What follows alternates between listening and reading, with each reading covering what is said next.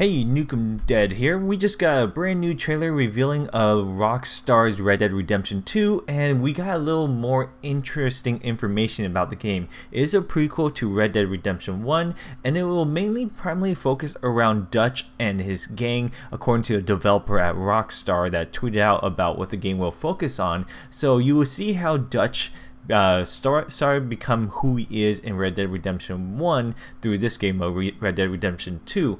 And you also learned through this trailer that the main protagonist of this game is an outlaw called Arthur Morgan. The story will focus around Arthur Morgan and the Van der Linde gang as they rob, fight, and steal their way across vast and rugged heart of America in order to survive. So what do you guys think? Are you guys happy to see Dutch is back and you see his gang and where it builds into Red Dead Redemption 1? Are you guys really sad that you don't have the main protagonist in Red Dead 1 where he's not back? Let me know what you guys think. So far the game looks gorgeous and beautiful and you are basically having fun as being a cowboy.